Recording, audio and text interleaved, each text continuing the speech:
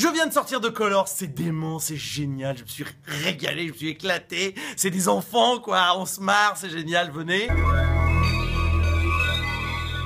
Je mets au défi euh, Mathilda May, parce que Mathilda, euh, elle va adorer ça, c'est sûr, et qui paraît qu'elle est jamais venue. Il faut absolument qu'elle le fasse.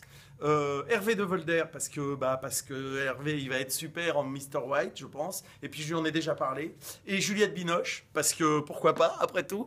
Et je suis sûr que ça l'amuserait peut-être de faire un- une, chose, une chose comme ça. C'est assez étonnant à faire, c'est assez unique, c'est assez remarquable. Moi, j'ai surkiffé. Ciao